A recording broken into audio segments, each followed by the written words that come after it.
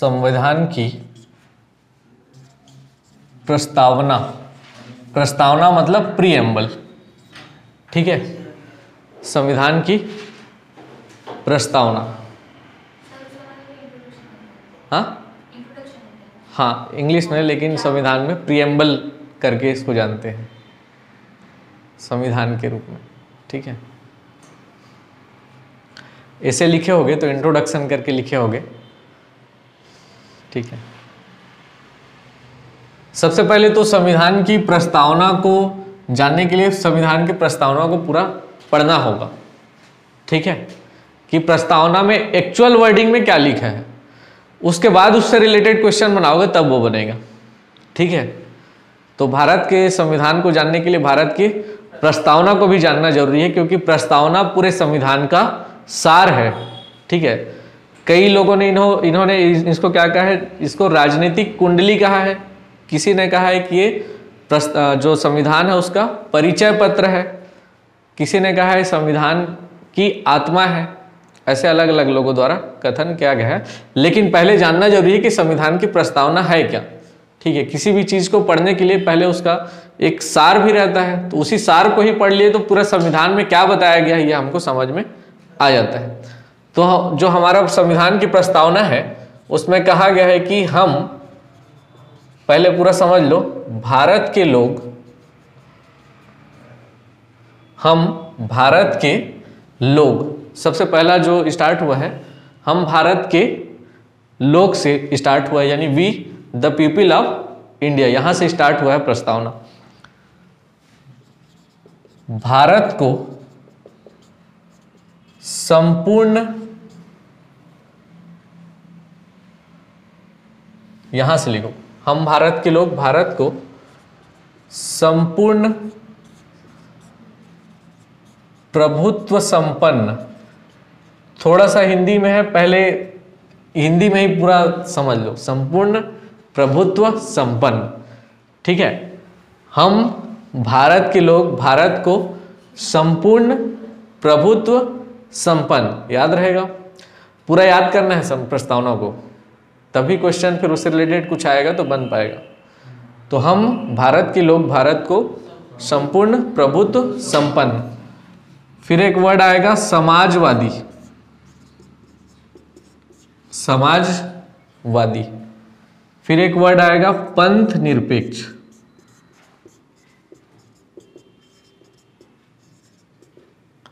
और लोकतंत्रात्मक गणराज्य बनाने के लिए।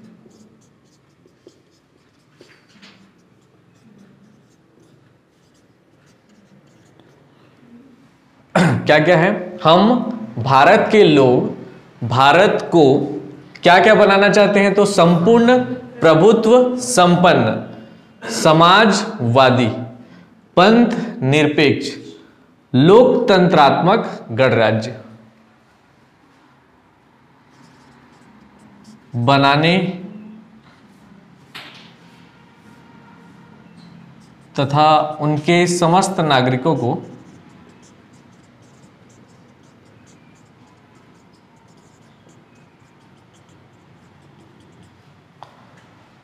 लोकतंत्रात्मक गणराज्य बनाने तथा उनके समस्त नागरिकों को, यानी भारत के समस्त नागरिकों को सामाजिक, आर्थिक व राजनैतिक न्याय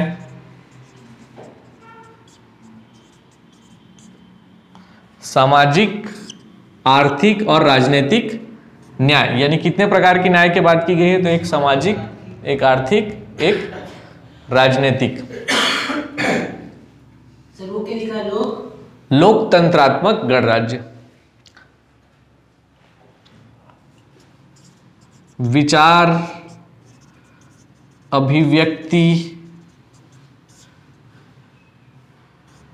विश्वास धर्म की उपासना।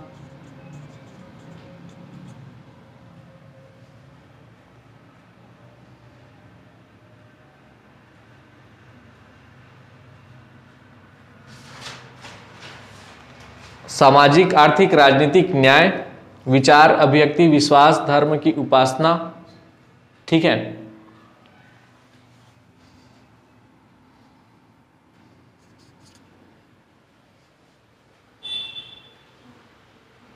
ये वाला जो बात कर रहे हैं पूरा पूरा न्याय से रिलेटेड है?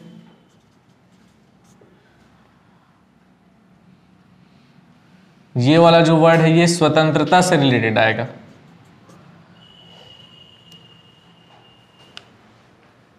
उपासना की स्वतंत्रता, प्रतिष्ठा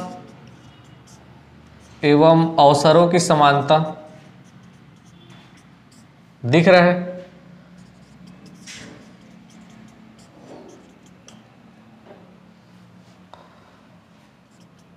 तथा इन सब में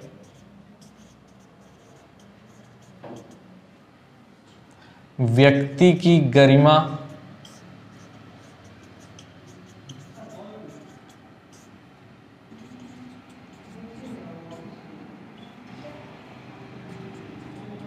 एवं राष्ट्र की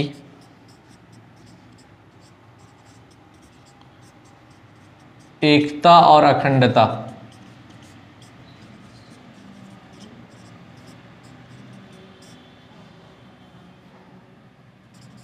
को बनाए रखने के लिए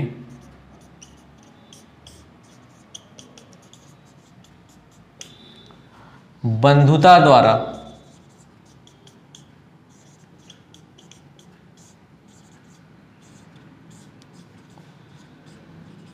दृढ़ संकल्प होकर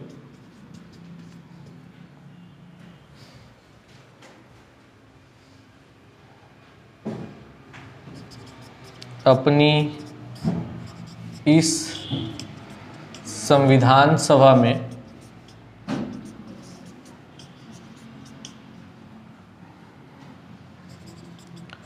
आज दिनांक 26 नवंबर उन्नीस सौ उनचास, यही डेट देखे थे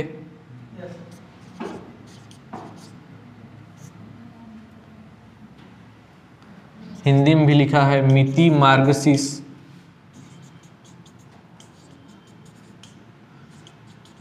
शुक्ल सप्तमी।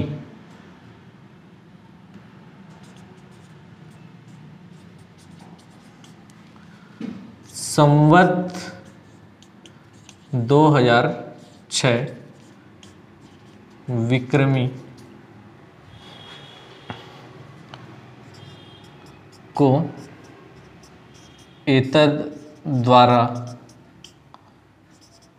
इस संविधान को अंगीकृत अधिनियमित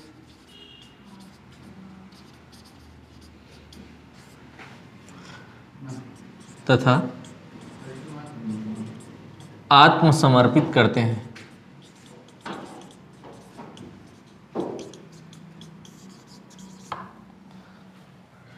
ठीक है? यह है संविधान की प्रस्तावना। संविधान की प्रस्तावना में क्या लिखा है? तो स्टार्ट होता है, हम भारत के लोग से we the people of India से, हम भारत के लोग, भारत को संपूर्ण प्रभुत्व, संपन्न, समाजवादी पंथ निरपेक्ष तथा लोकतंत्रात्मक गणराज्य बनाने। और इसके नागरिकों को क्या क्या बनाना चाहते हैं तो? क्या क्या दिलाना चाहते हैं? तो सामाजिक, आर्थिक, राजनीतिक न्याय दिलाना चाहते हैं। विचार, अभिव्यक्ति, विश्वास, धर्म की उपासना। विचार, अभिव्यक्ति, विश्वास, धर्म की उपासना की स्वतंत्रता, ठीक है? प्रतिष्ठा एवं अवसरों की समानता। और इन सब में जो व्यक्ति की गरिमा है और राष्ट्र की एकता और अखंडता को बनाए रखने के लिए बंधुता द्वारा मतलब भाईचारे की भावना से दृढ़ संकल्प होकर अपनी इस संविधान सभा में आज दिनांक 26 नवंबर उन्नीस को, यानी हिंदी कैलेंडर के अनुसार मिति मार्गशीर्ष शुक्ल सप्तमी संवत कौन सा है? 2006 विक्रमी संवत, ठीक है? को एतद द्वारा इस संविधान को अंगीकृत, अधिनियमित और आत्मसमर्पित करते हैं। ये संविधान की प्रस्तावना में लिखा हुआ है। अब इस पर क्वेश्चन कैसे कैसे पूछा जाता है, ठीक है? जैसे एक क्वेश्चन पूछ लिया गया है एक बार कि जो संविधान की प्रस्तावना है, उसमें भारत शब्द कितने बार आया है? तो भारत शब्द केवल दो बार आया है, ठीक है?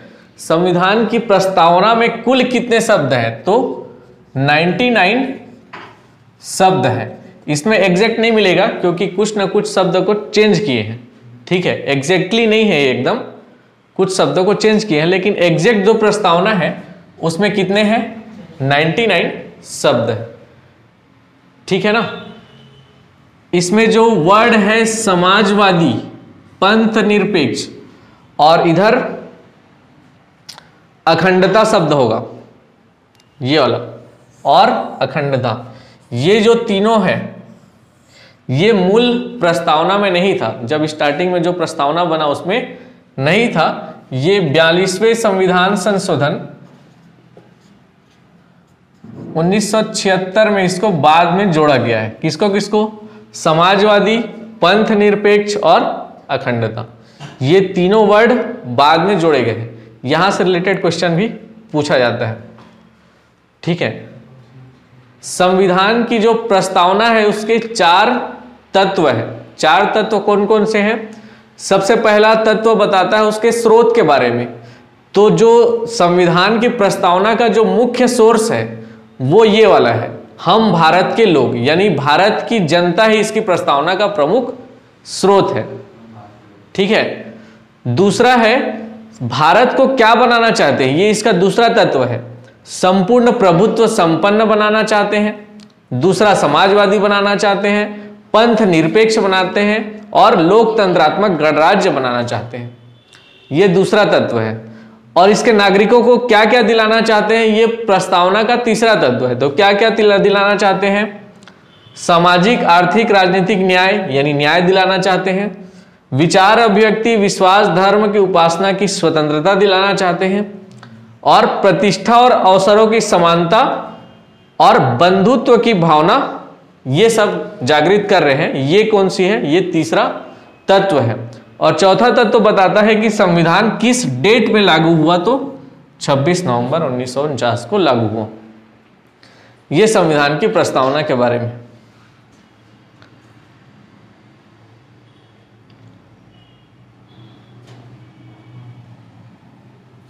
ठीक है? याद रहेगा इतना। एक बार रिपीट करोगे प्रस्तावना को। देख के नहीं, बिना देखे। देखो, एक बार याद करने का कोशिश करना। प्रस्तावना में जो वर्ड स्टार्ट हुआ, एक बार साथ साथ में बोलना, तब याद होगा। हम भारत के लोग, ऐसा फील होना चाहिए ना कि प्रस्तावना बोल रहे हैं मतलब हम लोग खुद संविधान सभा में बैठे हैं। तब तो उसको फील करके फिर प्रस्तावना को एक संविधान को समर्पित कर पाओगे। ठीक है? तो हम भारत के लोग। फिर क्या क्या बनाना चाहते हैं भा, भारत को?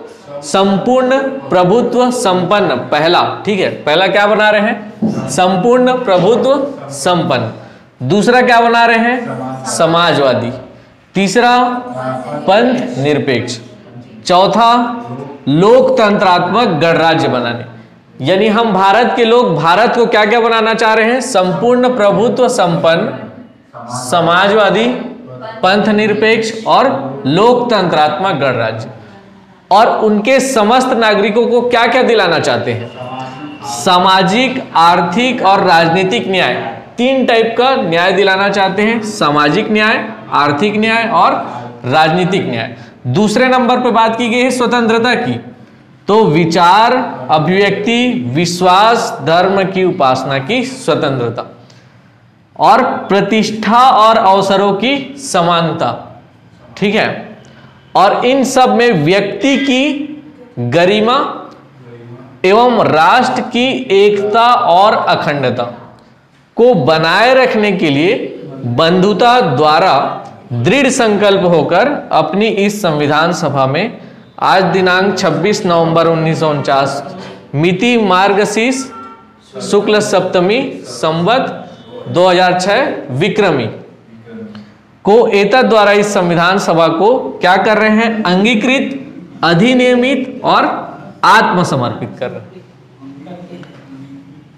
अंगीकृत, अधिनियमित और आत्मसमर्पित। याद हुआ? एक बार और रिपीट करो, तब याद होगा। सबसे पहले हम भारत के लोग। भारत को संपूर्ण प्रभुत्व संपन्न, दूसरा समाजवादी, तीसरा पंथ निरपेक्ष चौथा लोकतंत्रात्मक गणराज्य बनाने। और उसके समस्त नागरिकों को क्या क्या दिलाना चाहते हैं? तो सबसे पहले सामाजिक, आर्थिक, राजनीतिक न्याय। दूसरा क्या है? विचार। अभिव्यक्ति, धर्म, विश्वास की उपासना की स्वतंत्रता। तीसरा है प्रतिष्ठा एवं अवसरों की समानता।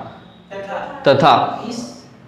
तथा इन सब में व्यक्ति की गरिमा और राष्ट्र की एकता और अखंडता। व्यक्ति की गरिमा को और राष्ट्र की एकता और अखंडता को बनाए रखने के लिए बंधुता द्वारा दृढ़ संकल्प होकर।